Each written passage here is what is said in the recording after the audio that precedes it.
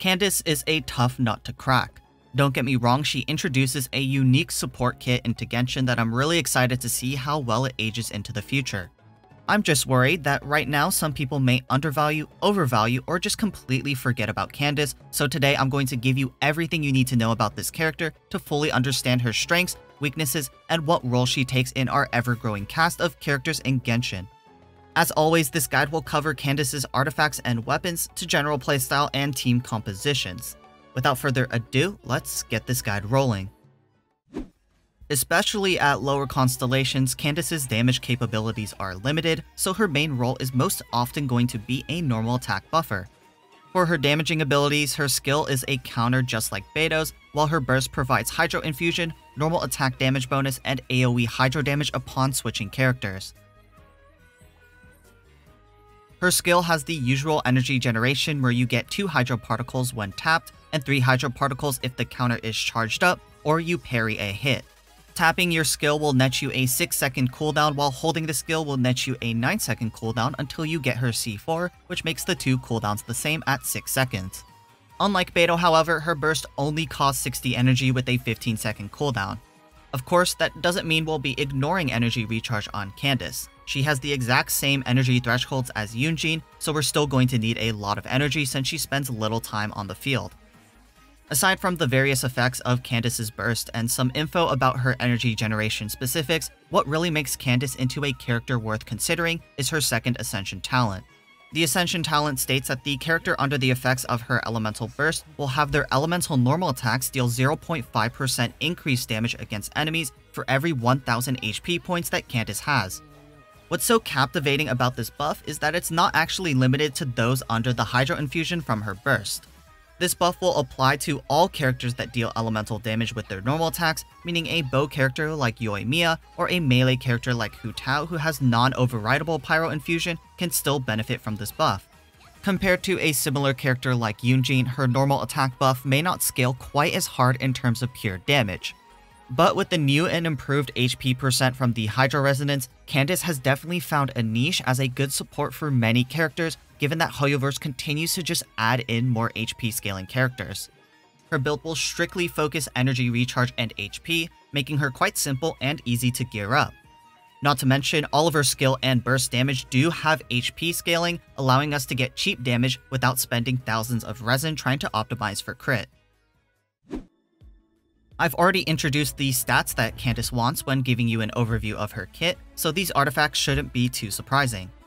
Candace's best artifact combination is either going to be the 2-set Tenacity of the Millelith with the 2-set Emblem of Severed Fate, or simply just the 4-set Noblesse Oblige. Both combinations are fairly easy to obtain and look to bolster her buffing abilities to the maximum. Noblesse is suited for elemental DPS characters that scale with attack like Yoimiya or Ayato, while if you have an HP scaling elemental attacker like Hu Tao or Kokomi, you may want to consider the Tenacity and 2 ESF instead. Artifact stats for Candace are triple HP in the Sands, Goblet, and Circlet, with ER as an option in the Sands for certain scenarios. Specifics on Candace's weapons will be covered in a few minutes, but most of her options are energy recharge polearms, so we can afford to go triple HP to maximize that Ascension talent. If you're using an HP weapon like Black Tassel or Staff of Homa, ER is also a viable option in the Sands as well. You probably could have guessed this already, but her substat priority is obviously going to be HP percent, energy recharge, and flat HP. A lot of energy recharge is going to come from your weapon for the most part, but in total we're looking from anywhere to 180 to 200% energy recharge for Candace under the assumption that every rotation we only use her skill once. Now I know there's some players out there just looking for Candace to do some sort of damage because that's just what Genshin players do. Don't lie to yourself. So especially for my C6 Candace players, listen closely because there are some adjustments that need to be made for a sub DPS build versus a pure supportive build. C6 Candace will grant her extra waves of AoE hydro damage when a character deals elemental damage with their normal attacks, and these waves have a 2.3 second cooldown. With this in mind, Candace's new best artifact set for damage is going to be the 4-set Emblem of Severed Fate, since the extra waves from her C6 are considered elemental burst damage. Like many other characters, not only does this set help solve her energy problem, but it also serves as her best damage option, given that we're always stacking as much ER as we possibly can. Other damage options include any combination between the 2-set Noblesse, 2-set Heart of Depth, and 2-set Tenacity of the Millelith. None of these combinations of 2 sets are going to be nearly as good as the 4-set ESF, but they're still pretty close and extremely solid on Candace. Artifact stats for the sub DPS build will be HP percent in the Sands, Hydro damage bonus in the Goblet, and crit rate or crit damage in the Circlet. It should be expected that you're gutting her support capability in exchange for personal damage, and there's really no way around this. With this build, her buff will be decent, but don't expect it to be anything game-breaking, that much I can say for sure. Substat focus for the sub DPS build is crit rate, crit damage, energy recharge, and HP percent. Get as much energy recharge as you can in substats because with the 4-set ESF, it's imperative that you get as close to 200% energy recharge as possible. Candace's weapons are about as simple as it gets. But unfortunately, that does mean you don't have very many options. On the bright side, her clear best two options are going to be 4-star polearms, so she's very free-to-play friendly to build. Favonius Lance is the premier support polearm with other peer support characters like Yunjin and Thoma also using this weapon. If you have this weapon to spare, definitely use it on Candace, but if you can't spare it because someone else is using it, don't stress out too much. The Catch is another popular polearm and not just favored by Candace. Like Favonius Lance, the Catch also has many other users, except this time it's DPS characters like Xiangling and Raiden Shogun that love this weapon. The Catch is your completely free-to-play option for energy recharge, but again, don't stress if you cannot spare this weapon for Candace. The reason why I say don't stress about having either the Catch or Favonius Lance available for Candace is because the Black Tassel exists. Although it may not be exactly on par with the 4-star options, this 3-star polearm is pretty damn close. Within ER Sands, this weapon is extremely functional and it's the ultimate budget option for Candace. If you're a Black Tassel Zhongli enjoyer, then you're sure to love this weapon on Candace as well. As for your more pay-to-win options, these are also pretty straightforward. Alongside the catch, Staff of Homa is Candace's best damage option for the C6 sub DPS build. Otherwise, Engulfing Lightning and Skyward Spine are your other 5-star energy recharge options. The two passives on these weapons are very situational for Candace and you're mainly using these two polearms just for the energy recharge. Last but not least, we've gotten to Candace's teams. This is the most interesting part of the video because team compositions is where most of the undervaluing or overvaluing of Candace takes place. Yes, she has Hydro Infusion with her burst, but that doesn't have to be the focal point when building teams around Candace. She has multiple other benefits that she can provide to the team, especially with the newly buffed Hydro Resonance. So today I'll briefly give you 3 of her best team ideas to build off of, so you can get a hunch about what kind of team she shines in.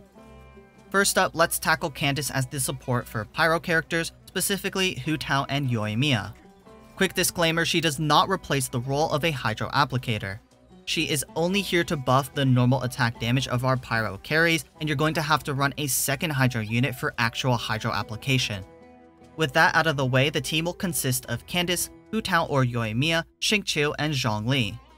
Although Hu Tao's main damage is from her charge attack, Candace is still a great option here because Hu Tao still normal attacks in between her charge attacks, and she also grants the Hydro Resonance to the team.